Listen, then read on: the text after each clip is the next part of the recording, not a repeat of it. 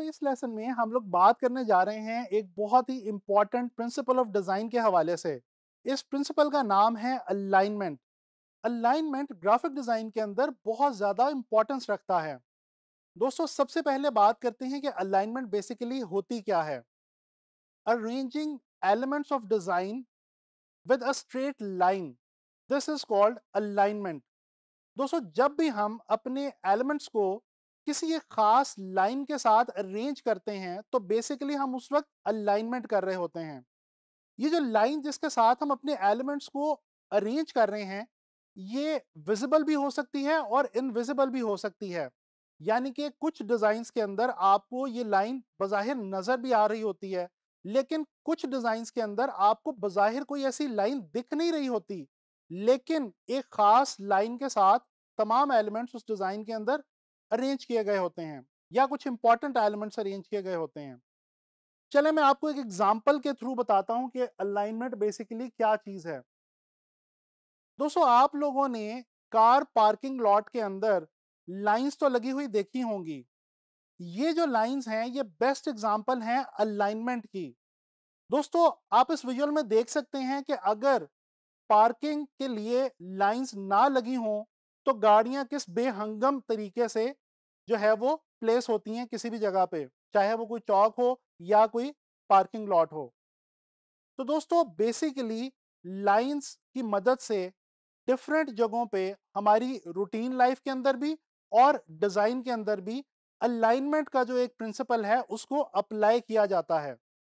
जब आप किसी कार पार्किंग लॉट में जाके किसी खास दो लाइंस के बीच में अपनी गाड़ी पार्क करते हैं और सभी लोग जब इस अमल को दोहराते हैं तो बेसिकली एक खास ऑर्डर के अंदर तमाम की तमाम गाड़ियाँ लग जाती हैं और कोई भी बेहंगम सूरत हाल पैदा नहीं होती।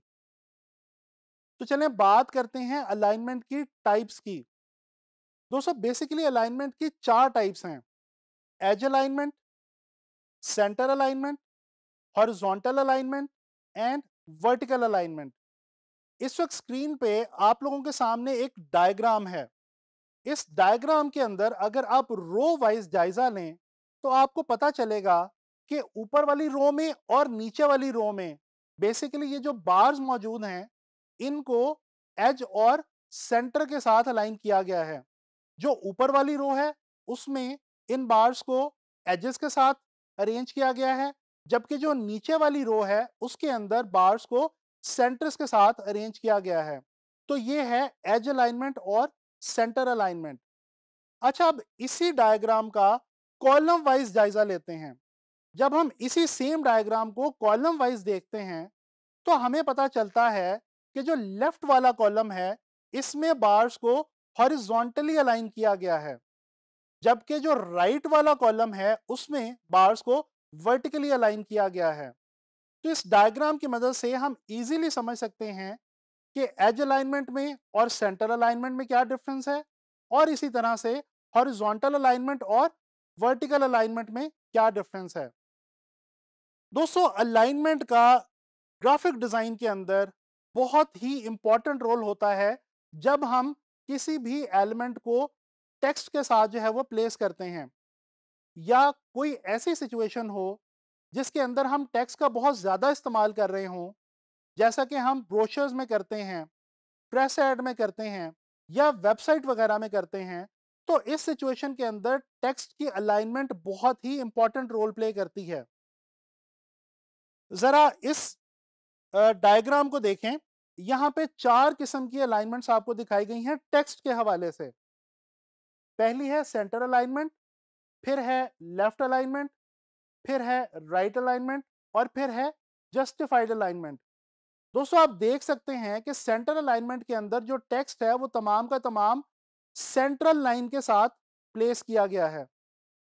इसके बरक्स जो लेफ़्ट अलाइनमेंट वाला कॉलम आपके सामने है, इस कॉलम के अंदर टेक्स्ट को लेफ़्ट लाइन के साथ अलाइन किया गया है, प्लेस किया गया है।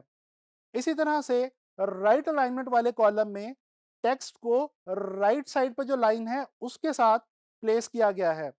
और जो जस्टिफाइड अलाइनमेंट है इसके अंदर टेक्स्ट को बाहर की दोनों एजेस वाली लाइंस के साथ प्लेस किया गया है और इस तरह से अरेंज किया गया है कि टेक्स्ट जो है वो एक पूरी कंप्लीट कॉलम की शक्ल हमें जो है वो मुहैया कर रहा है।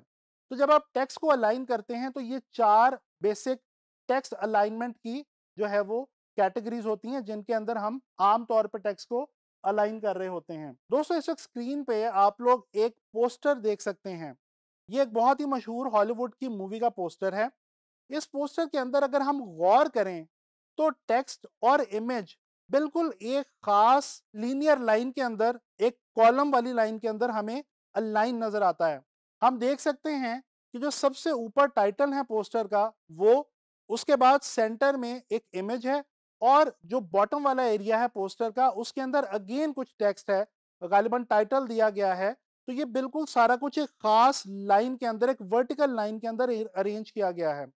और आपके सामने है कि इस अलाइनमेंट की मदद से इस पोस्टर को कितनी खूबसूरत लुक मिल गई है। अच्छा अब यहाँ पे मैं ज़िक्र इस बात का भी करना चाहता हूँ कि ये जो अलाइनमेंट हम करते हैं, ये हम किस चीज़ के थ्रू करते हैं? दोस्तों, आपके सामने एक ये ग्रिड नज़र आ रही है आप लोगों को। ये जो ग्रिड है ये बेसिकली हॉरिजॉन्टल और वर्टिकल लाइंस का एक कॉम्बिनेशन हुआ करती है और ये ग्रेड ही वो चीज़ होती है जिसकी मदद से हम ग्राफिक डिज़ाइन के अंदर टेक्स्ट को या टेक्स्ट के साथ डिफरेंट ग्राफिकल एलिमेंट्स को, जैसा कि पिक्चर्स और वेक्टर्स वगैरह को हम प्लेस करते हैं अरेंज करते हैं या अलाइन करते हैं। तो दोस्तों, ये जो ग्रेड है, इसका अलाइनमेंट के साथ ग्राफिक डिज़ाइन में बहुत ही ज़्यादा गहरा ताल्लुक है। आप लोगों ने कुछ डिफरेंट एग्जांपल्स की मदद से अलाइनमेंट के बारे में डिफरेंट इंफॉर्मेशन इस लेसन के अंदर जो है वो लर्न की है। अब लास्ट में मैं आपको ये बताता चलूँ कि अलाइनमेंट बेसिकली हम ग्राफिक डिज़ाइन में करते क्यों हैं? यानी कि हमें ग्राफिक डिज़ाइन में अलाइनमेंट की मदद से क्या चीज़ अचीव होती है? दोस्तों, सबसे पहले तो हमारे डिज़ाइन के अंदर अलाइनमेंट की मदद से ऑर्डर क्रिएट होता है और ऑर्गेनाइजेशन की फील आती है। यानी कि हमारे तमाम एलिमेंट्स ऑफ़ डिज़ाइन एक ख़ास लाइन के साथ हमें ऑर्गेनाइज मिलते हैं। अच्छा इसी तरह से एलिमेंट्स आपस में ग्रुप करने में हमें बहुत ज़्यादा आसानी होती है और एक ख़ास किस्म का विजुअल कनेक्शन, एक रब्त जो है वो पैदा होता है हमारे डिफरेंट विजुअल एलिमेंट्स के अंदर।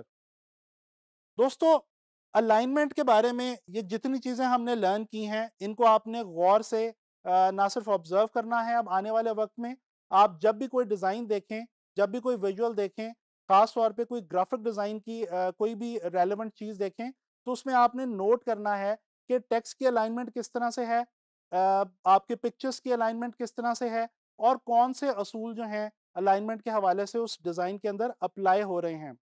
इससे होगा क्या कि जब आप अपने डिज़ाइंस बनाने शुरू करेंगे तो आपके डिज़ाइंस के अंदर बहुत ज़्यादा इंप्रूवमेंट आ जाएगी और एक ख़ास किस्म की स्ट्रेंथ आप देख सकेंगे अपने डिज़ाइंस में। तो मैं उम्मीद करता हूँ कि आपको अलाइनमेंट के हवाले से समझ आई होगी और अब आप लोगों ने इसके हवाले से बहुत ज़्यादा कीनली ऑब्ज़र्व करना है। इन ताला नेक्स्ट लेसन में आ, किसी मजीद प्रिंसिपल ऑफ़ डिज़ाइन के साथ मुलाकात होगी।